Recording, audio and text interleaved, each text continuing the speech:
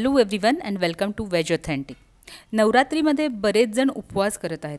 पण या करोना काळात नवरात्रीमध्ये सुद्धा उपवास करून प्रतिकारशक्ती कशी वाढवता येईल हे या व्हिडिओमध्ये आपण बघणार आहे. नवरात्रीतच नव्हे तर चातुर्मासामध्ये वगैरे सुद्धा लोक उपवास करतात. तर उपवासावेळी तुम्ही प्रतिकारशक्ती कशी वाढवाल? आपल्याकडे उपवासाला निरनिराळे पदार्थ खाल्ले जातात. भारतीय संस्कृतीमध्ये दुधाला अनन्यसाधारण महत्त्व आहे. दिवसभरात दोन ग्लास दूध किंवा दोन लहान कप दही नक्की घ्या. ज्यांना दूध आवडत नाही त्यांनी तेवढ्याच दुधाचे दही लावा आणि त्यापासून ताक करून प्या किंवा दही तसेच तुम्ही खाऊ शकता. फळं आणि दहीसुद्धा तुम्ही खाऊ शकता कोशिंबीर करून. सफरचंद आणि दह्याची एक कोशिंबीर मी आपल्या वेज ऑथेंटिक चॅनलला अपलोड केली होती त्याची लिंक मी डिस्क्रिप्शन बॉक्समध्ये देईन. तीसुद्धा तुम्ही खाऊ शकता. बरेच जण दूध व फळे एकत्र घेत नाहीत. जर तुम्हाला दूध फळे घ्यायची असतील तर फळे घेतल्यानंतर अर्ध्या तासाने तुम्ही दूध घेऊ शकता. दूध तुम्हाला पुरेशा प्रमाणात प्रोटीन कॅल्शियम आणि विटॅमिन बी ट्वेल्व देईल व दही तुमची पचनशक्ती व्यवस्थित ठेवेल. उपवासाच्या काळात विटॅमिन्स पण तितकेच महत्त्वाचे. शिंगाड्याच्या पिठामध्ये फायबर भरपूर प्रमाणात असते खनिजेही मिळतात. दिवसातून एकदा तरी साबुदाण्याऐवजी शिंगाड्याचे पीठ वापरावे. उपवासाच्या काळात दिवसातून तीन वेळा म्हणजेच नाश्ता दुपारचे खाणे व रात्रीच्या खाण्यात फळे मात्र अवश्य घ्या. सफरचंदातून तुम्हाला फायबर्स काप्स vitamin C potassium vitamin K मिळते.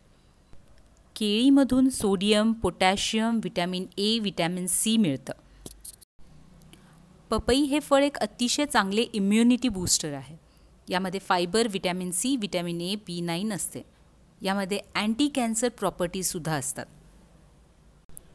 उपवासामुळे ज्यांना अपचन आम्लपित्त किंवा तोंडास दुर्गंधी येणे असा त्रास होतो त्यांनी डाळिंबाचा समावेश फराळात नक्की करा. डाळिंब रक्तवर्धक व शक्तिवर्धक आहे. डाळिंब रक्तातील साखरेची पातळी नियंत्रित ठेवतं. यामध्ये विटॅमिन सी ई व के आहे. मोसंबीमध्ये व्हिटॅमिन सी जास्ती प्रमाणात असल्याने करोनाच्या काळात ते का घ्यावे हे सांगायची गरजच नाही. अशा रीतीने या फळ आहाराने व्हिटॅमिन्सची गरज पूर्ण होते. दिवसातून तीन तरी फळे आहारात नक्की घ्या. डाळी म्हणजेच प्रोटीन्स याची उणीव भरून काढण्यासाठी किमान मुठभर शेंगदाणे काजू बदाम यांचे मिश्रण अवश्य घ्या. रात्रीच्या पोषणासाठी रात्री झोपण्यापूर्वी दुधात हळद घालून अवश्य घ्या. आणि सगळ्यात महत्त्वाचं म्हणजे पुरेसे पाणी प्या कारण ते अतिशय आवश्यक आहे. तसेच स्वच्छ व शुद्ध हवेत फेरफटका मारायला विसरू नका. हॅपी नवरात्री. आय होप तुम्हाला आजचा व्हिडिओ आवडला असेल तर मग लाईक शेअर आणि सबस्क्राईब करायला विसरू नका. याशिवाय तुम्हाला आणखी काही व्हिडिओज हवे असतील तर तुम्ही मला स्मिथ आर्ट वर्क या माझ्या इंस्टाग्राम पेजला मेसेज करून कळवू शकता. Thank you so much for watching